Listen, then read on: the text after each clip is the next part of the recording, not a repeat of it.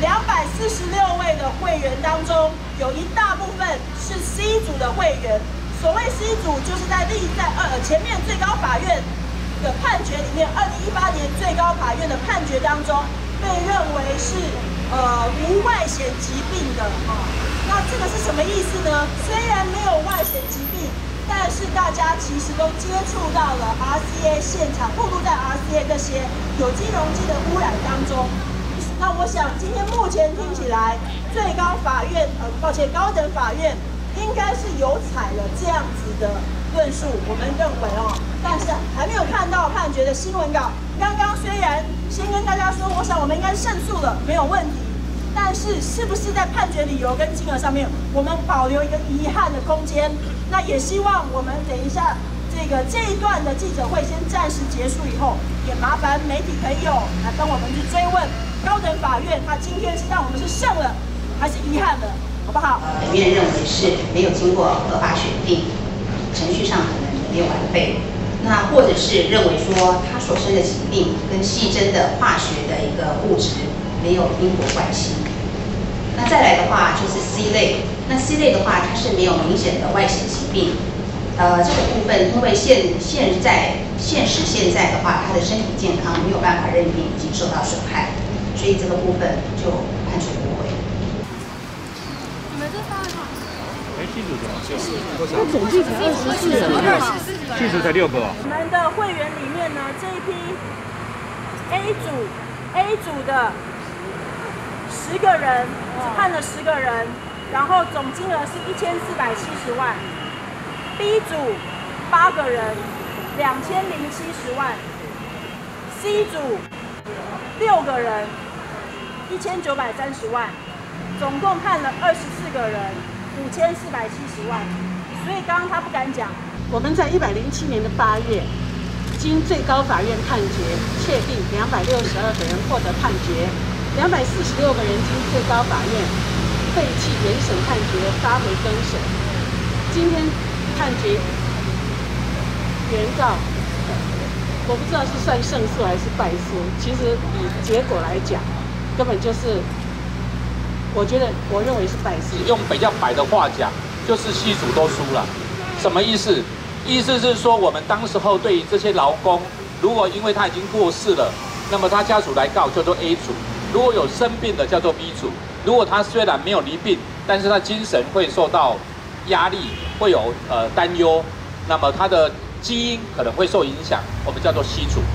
那这个 C 组的部分，他判我们有两百多人，他判二十四个，其实都不是 C 组。我们有许多的人不能够活着看到赔偿，享受更好的医疗照顾。现受害员工及其家属身心严重受创。我们一致认为，RCA、GE、Technicolor、Thomson 这些公司应该要有惩罚性的赔偿，以抚慰我们所有受害的员工，这些赔偿甚至无法填补巨额的医疗费用。纵使花费了庞大的医疗费用，也不是每一位受害员工都有条件复原。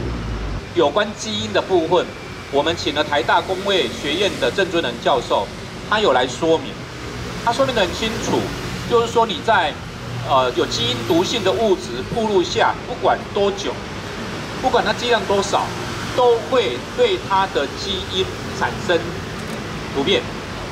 这个基因的突变要经过两次才会致癌。那你如果只有你你运气比较好，只有一次，可能不一定会就致癌，但是你就有比较大的风险会致癌，你就比较大的风险会生病。那这个部分，我我们认为在原来的一审、二审，也许没有讲清楚，在更一审法官已经我们请了专家证人，双方请了专家证人，应该很清楚。可是我们要说，我们对这样判决结果，对于劳工对于这些受损的身体健康受损的人是不公平的。我们认为像司法的判决是保守的，是没有前瞻性的。这样的这样的这些法官，实际上没有站在啊一个公平的立场来判断，因为现在的以前的科学可能也许还没有进展到这程度，或者原来也许没有写讲的那么清清楚，已经讲的那么清楚以后，还是这样判。从去年 RCA 二军在一审的宣判里面，我们很清楚知道，地方法院以及面对我们专家学者准备了越来越充分的关于工人健康权、关于这些次细胞损害，还有我们的身心健康的维护的这个权利上面，准备了非常充分的论述。去年二军的地方法院也已经采了这一组这些人，我们在过去几审，大家本来都有判决金额，对不对？其实你们都曾经拿过判决金额嘛，有个数字嘛，哦，法院有认同我们过。那没想到上诉到从最高法院发回来，高等法院还做出了一个让我们这么失望的结果。判决不公，上诉到底，上诉到底，上诉到底，上诉到底。一二军在一审的时候，他在十二月宣判嘛，那宣判他就是认为 A 呃 A 组 B 组 C 组就是包括 C 组都判判赔嘛，所以我们才会说那这样应该。这边有机会，我们当然会这样想，说应该有机会。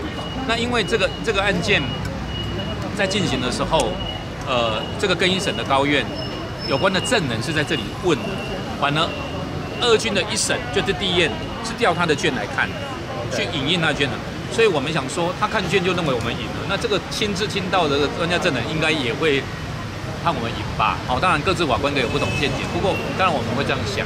刚才十一点宣判的时候，我们面对审判长何玉婷，在当庭的时候，哎，好像对于判决金额迟迟不敢说出口，我们非常疑惑，我们应该是赢了啊，赢了为什么没办法公布判决金额呀？有很多的媒体跟会员在跟我们一起，等到现在，现在是一点整，下午一点整，刚刚法院才明确的说明了。我们今天的判决的结果以及理由，在受害者的运动里面，我们从来不心存侥幸。可是我今天居然犯了这个错，哦，我以为我们会赢。当我们知道这个答案之后，彻底的打击了我原来的相信。这二十年来，我们过了遇了很多很多的关卡，我们起起伏伏。高高低低，我们以为这个受害者的运动可能就会无疾而终了。可是，我们的受害者 RCA 工人一直秉持的一个精神是什么精神？永不妥协！大声的喊出来！永不妥协！抗战到底！抗战到底！所以我要说，这个受害者的永不妥协。才是这个受害者运动最强最强的动力，我们说对不对？对。我们就是因为这样子突破了所有的难关，走到现在二十年，将近三十年。我们当时候说这个永不妥协，可不可以就停了？有可能吗？所以今天站在公安协会的立场上，我们还是要与各位一起争取下去。